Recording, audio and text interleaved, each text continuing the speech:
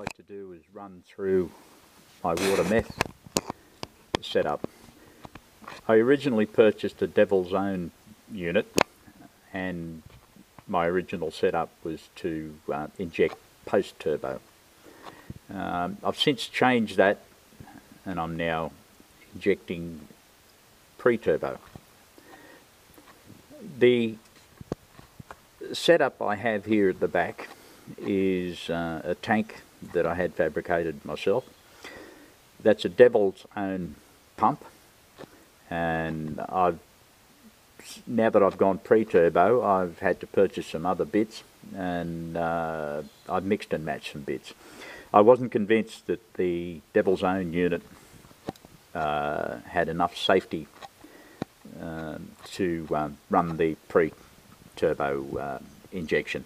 I had heard of a couple of failures and uh, I just wasn't happy to use it uh, from a safety aspect. Um, at the base of the tank on the right that is the tank outlet on the left is a uh, level switch which shuts off the pump when the level gets uh, too low. Now the pump as I said is the devil's own unit. I've got that set at 200 psi it will run at uh, 150, 200 or 250. I found 200 psi to be quite uh, quite good for what I want. The pump outlet uh, goes out through the floor.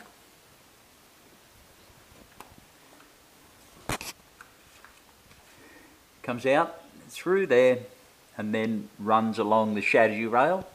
Now you just got to be careful of any abrasive uh, points there so that we don't do any damage to it uh, as we go. Now we come up into the engine bay.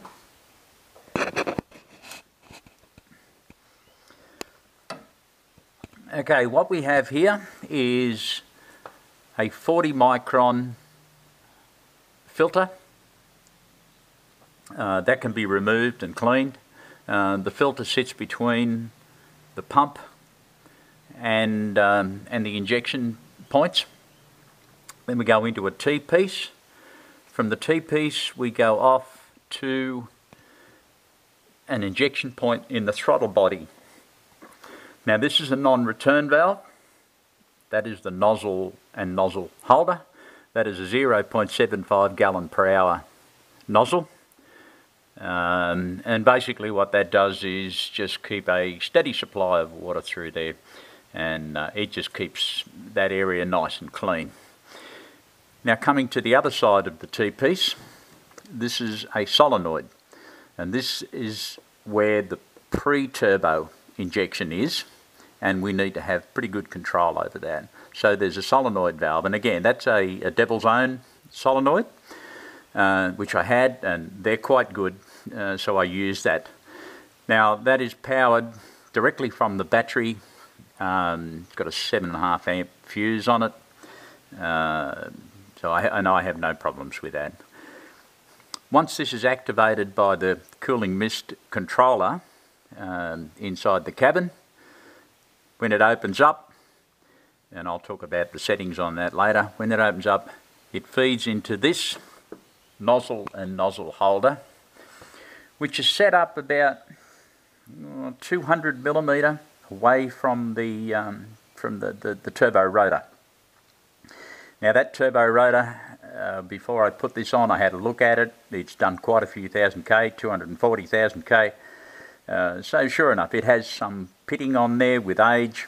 Um, I've looked at it a couple of times since, since fitting this unit and there's been no advancement in that and I'll continue to check it uh, for quite a few thousand K to come. Um, this hose is a very firm rubber uh, and it's quite solid.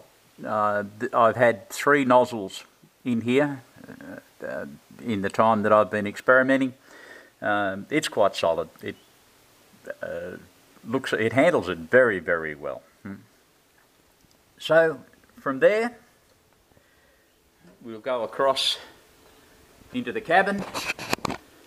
Now Garrett actually uh, recommend that you be within 150 to 250 millimetre away from the turbo rotor for pre-turbo injection.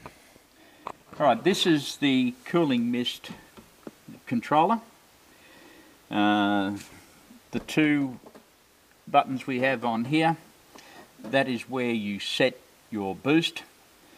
Uh, I have my, well you set your boost control, I'm sorry.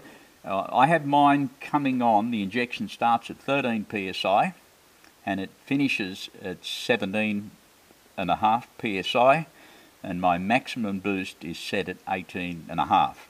So it comes on at 13, ramps up to 17 and a half where it's, uh, it's fully out. Now I have a cutout switch for the pump on my center console. So that uh, just rigged up on the main power. So if anything happens, I can just shut the pump down immediately. Now this controller, all of the ancillary stuff with that is mounted in behind this kick panel. There is a, uh, a safety control box that is part of the cooling mist uh, system that you can purchase. Um, and this system with the failsafe box looks at all the, uh, the, the bits and pieces of the system and it actually learns as you go. Now when I turn this on it flashes 411 that's that's just a model thing and the fault light comes on. And then it's actually scanning and going through all the chapters whatever you like to call them in there. And it says okay everything's fine. I'm ready to uh, I'm ready to start. Now the other day I changed a nozzle without doing anything else and I took it for a run and the unit did its job. It recognized that something was wrong and uh, it shut the unit down. So as I said these that controls the minimum, that controls the maximum.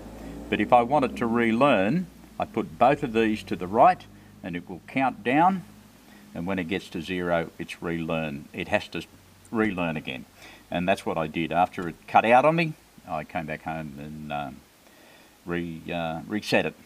Uh, I expected it to do it, uh, I just wanted to make sure that it did do it. Alright, so now it's ready to start.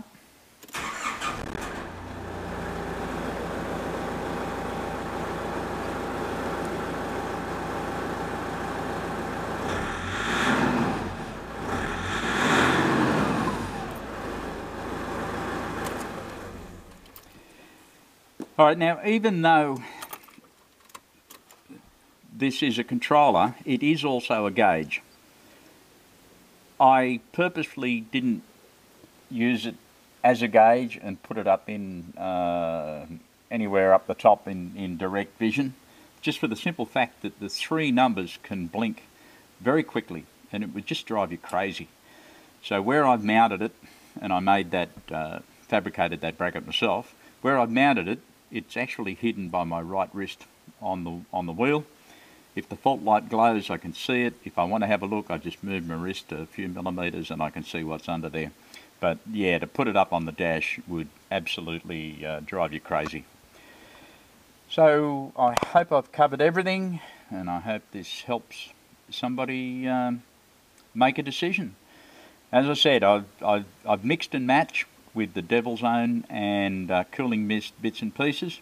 The Cooling Mist controller is is very good. I'm very happy with what it's uh, what it's done. It's definitely protecting uh, my system. Uh, I love it. Thank you. Hope it helps some.